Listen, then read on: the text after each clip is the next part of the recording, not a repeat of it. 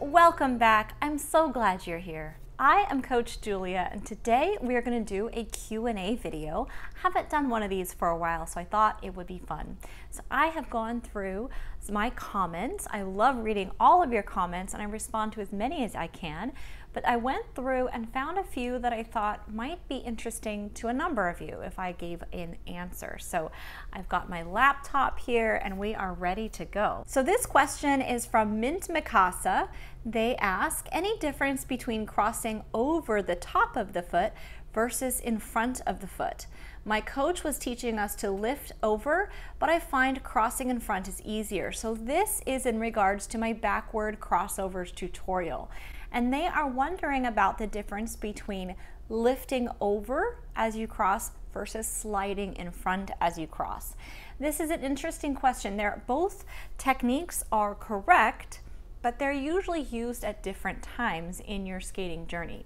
So when you start learning crossovers, going backwards, you usually will lift over. Now, this does feel a little cumbersome, but it helps you uh, achieve control over each edge. So by lifting over, you have to be able to control your back outside edge on the foot that's on the inside of the circle and then your back inside edge on the foot that's on the outside of the circle. So by lifting, you're not going to be as uh, loose in your core, in your upper body. You have to be more careful with your balance, with your stability as you lift across. So think about learning the lifted backward crossover as a skills exercise. And then once you can do that successfully, you're not dragging your toe picks, you're not falling from one foot to the other, then we can use all of that uh, core strength, balance strength, stability that you have worked on and move it to a crossover that slides in front. So we progress from a lifted to a sliding once we know that you have control over your skates on those backward crossovers. So if your coach is asking you to lift, do what they're asking because there's a reason for it. But just know once they see what they need to see with those crossovers, you'll be able to slide in front in no time. This question is from Letty Me 3099. They say, I've been skating for six to nine months. I'm using leather skates, but they pinch my toes. My coach told me that I have the right length for sizing, but not wide enough. Well, I guess it's more of a statement, not a question, but I feel like there's a question buried in there. So they're saying that their skates are the right length, but not the right width. This happens all the time. Um, once you start getting into skating and realizing more what you need in a skate, you'll be more careful with ordering extra wide or extra narrow or even customizing boots. Some manufacturers will do a semi-custom boot for you or you can go the way I've gone with Harlick where it's a completely custom-made boot for the size and shape and all the oddities of my feet. But until then, if you have a skate that is too narrow, say you have your toes and then it's too narrow across the ball of the foot is, most pro shops can stretch the toes of your skates. So th there's a number of different ways they can do this. It can either use a machine that punches out the edges, so it's like a customized, like makes a little indentation on the side, or you can put it on a machine that will stretch the whole front or stretch the heel. So you can get some customization in your skates that will make it more comfortable. I do have a video about all the different ways you can customize your skates, so I will post a link to that down in the description below this video. This is from Anna Murphy 4993 and she was commenting on the video I did this summer where we talked about all the different tips from different coaches about having a successful session. And I'll post a link down in the description below so you can watch that video if you'd like. Anna happens to have children who skate at Skate Town where I work. She says, I love all these great tips. We are so lucky to have so many great coaches at Skate Town.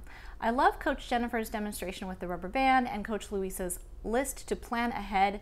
Coach Devin, I have a couple skaters that really need to hear your message about using their ice time wisely.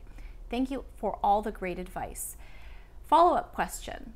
What can parents do to help their skaters have the most useful sessions? This is a great follow-up question because as a parent, especially with younger children, you can help set the tone for what your kids expect out on the ice. And so if your child is younger, you can really help them think about planning ahead You can even help them make a list of what they're going to work on. And you can help them learn how to divide up their ice time.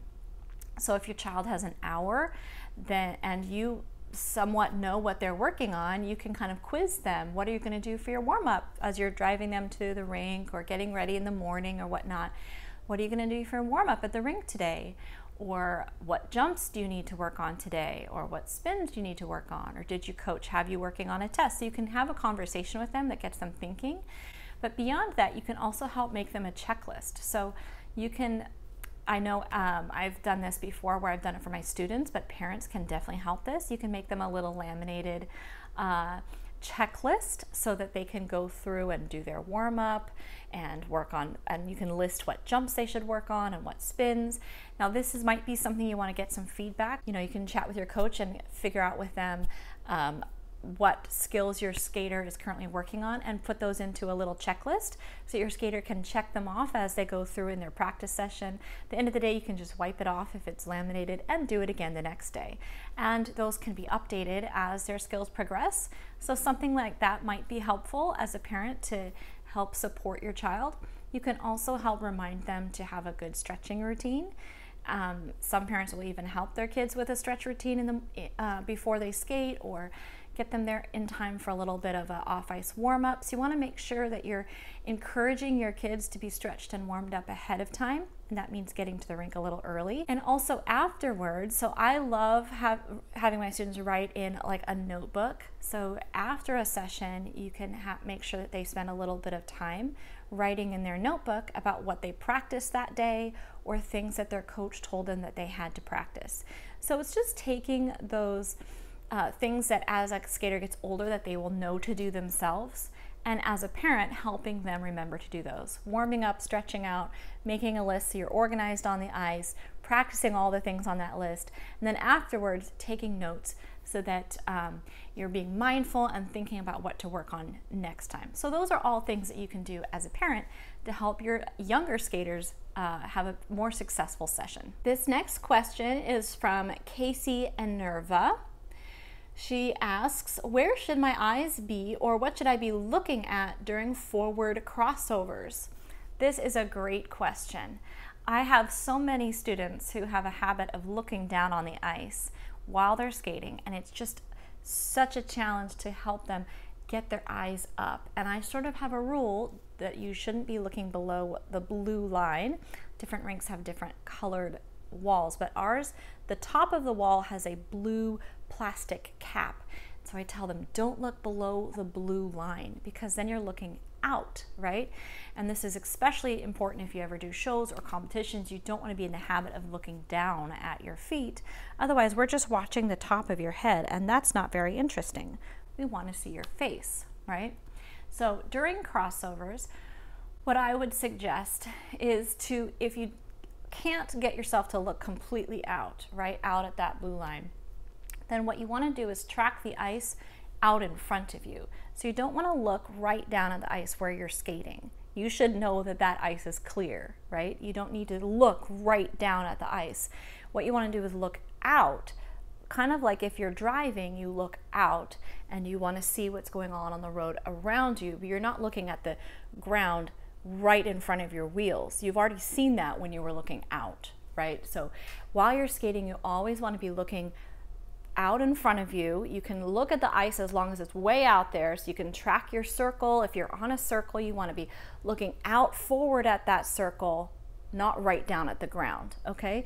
You also always want to be keeping your eyes up and off the ground right in front of you so you can see if there are other skaters coming and you're not going to be running into people. So always, my rule of thumb is don't let your eyes go below the barrier, but if you need to look at the ice, make sure it's like 12 feet out in front of you so that you can see also what's going on with other skaters on the ice around you. This next question is from Claire Bear Russian, 2D Star, something like that.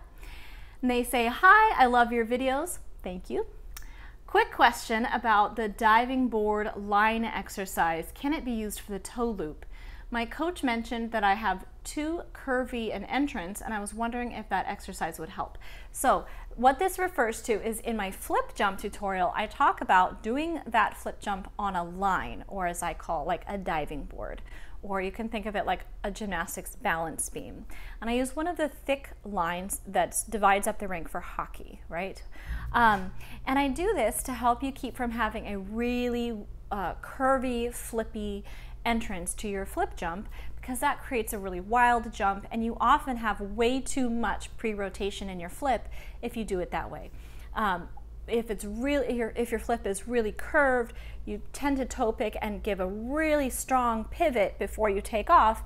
And as we talked about earlier, we don't want a heavy pre-rotation. We want just a teensy, teensy rotation on the ice. So that diving board exercise you can check out down below. I will post a link to my flip tutorial as well as my toe loop tutorial. But um, yes, you can use the diving board exercise for your toe loops. It's very similar, but you need a little bit more of a pivot with your toe loop, so it's not an exact, it doesn't correlate exactly, but if you practice it on the line, it does help straighten out your toe loop. Let's head to the rink really quick and I'll show you what that looks like. So here you can see me going a little bit in slow motion doing a flip jump. I'm attempting to keep everything on the blue line. The three turn, the tap, the jump, and the landing. This helps me keep it controlled and not whipped. So here I'm going to do the same thing doing a toe loop. The nature of a toe loop is a little different though. You're going to need a little bit more curve. You can see that my three turn is going to move away from that blue line and then I'm going to tap on the blue line. I'll rotate around and then land on that blue line as well. So you can use it somewhat the same way, but just keep in mind you'll have to move off it a little bit to get that pivot entry. This question is from Amy Lee Suits. She asks, do some skaters bend their skating leg in upright spins, forward or backward spins? I never know whether to completely straighten or have a slight bend. I've heard different things. This is a great question.